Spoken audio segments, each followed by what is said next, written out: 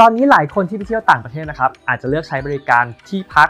บนแอปปล่อยเช่าต่างๆ ซึ่งก็อาจจะมีเรื่องที่ต้องกังวลใจอย่างการถูกแอบถ่ายผ่านสปายแคมราที่ซ่อนอยู่ในห้องพักของเรา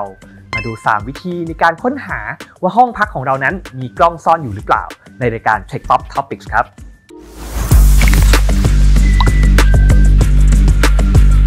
วิธีที่ 1 ลงมือค้นตามจุดต่างๆ เริ่มจากห้องนอน ห้องน้ำซึ่งกล้องมักจะซ่อนอยู่ในอุปกรณ์ไฟฟ้า อย่างเช่น หลอดไฟ ตัวควบคุมอุณหภูมิ หรือพวกวิทยุนาฬิกาที่เสียบปลั๊ก จากนั้นให้ใช้ไฟฉายส่องไปตามผนังบ้าน หรือจุดที่ต้องสงสัย เพราะจะเจอแสงสะท้อนจากเลนส์กล้องที่ซ่อนอยู่ครับ 2. คือใช้แอป Wi-Fi Scanning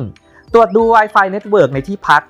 ว่ามีกล้องเชื่อมต่อ Wi-Fi อยู่ไหม หรือมี Wi-Fi Network อื่นในบ้านที่อาจใช้เชื่อมต่อกล้องไว้หรือเปล่า วิธีที่ 3 คือใช้เครื่องตรวจจับ Spy Camera ที่จะสแกนคลื่นความถี่ของกล้อง Spy Camera ซึ่งเจ้าเครื่องนี้ก็หาซื้อได้ในเว็บออนไลน์อย่าง Amazon หรือ AliExpress